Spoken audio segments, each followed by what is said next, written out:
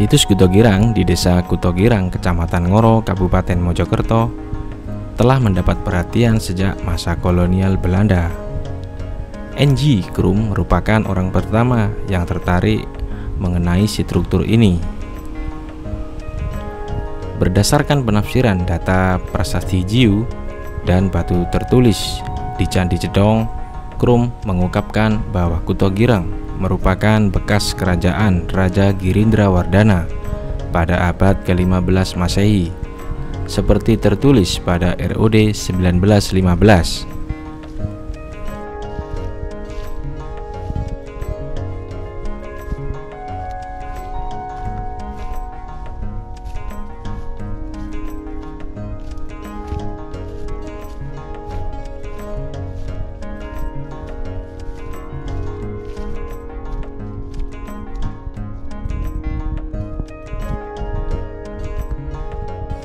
Pada tahun 1975, situs ini mendapat perhatian dari kantor LPNN dengan dilakukan ekskavasi dan penyusunan bata-bata yang tersebar di lokasi situs Kutogirang.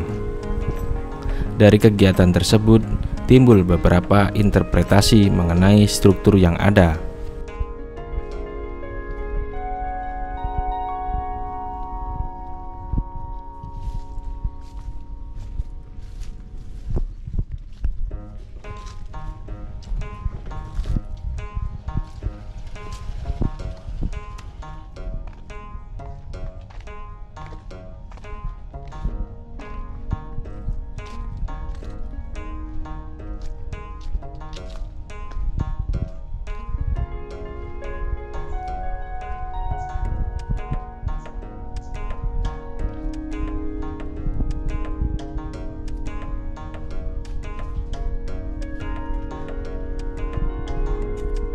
Pendapat AS Wibowo, Soekarto Atmojo, dan JG De Karparis mengungkapkan bahwa situs ini merupakan bangunan air. Hal ini didasarkan pada pola lubang-lubang pada tembok yang diasumsikan bahwa lubang-lubang tersebut dimaksudkan berfungsi sebagai saluran air. Pada dinding sebelah utara diperkirakan lokasi dikelilingi pondasi tembok serta mungkin sebuah kolam.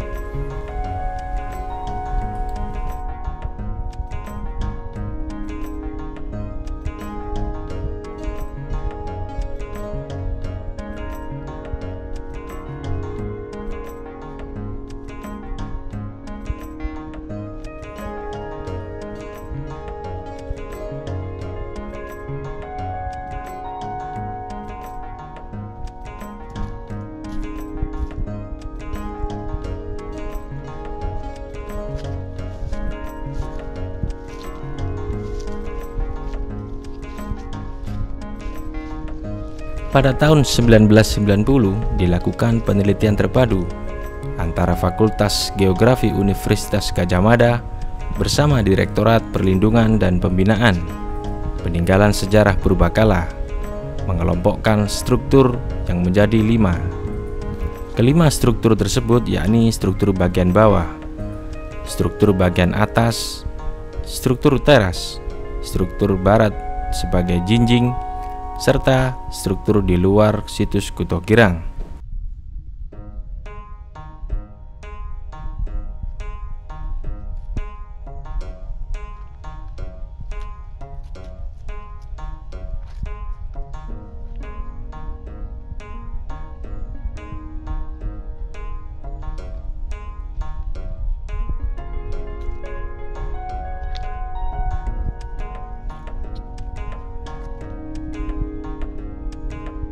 Pada struktur bagian bawah, diadakan pengujian terhadap tiga lubang untuk menguji pedostratigrafi.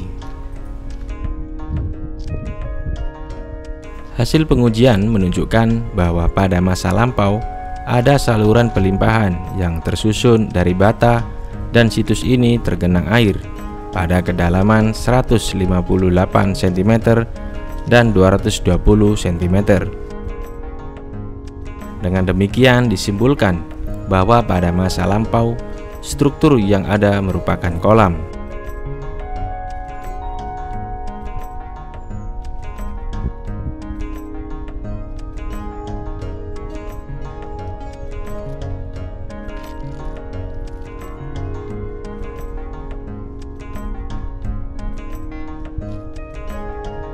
Penelitian selanjutnya dilakukan pada tahun 1993 dengan menemukan struktur bata di pekarangan rumah milik Dinar, salah satu warga setempat.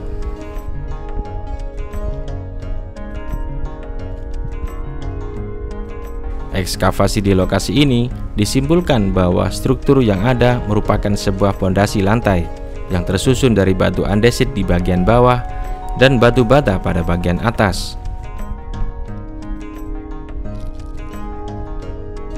Di samping itu juga ditemukan komponen bangunan dari tanah liat, yakni genteng, momolo, bubungan, keseluruhannya merupakan bagian atap bangunan.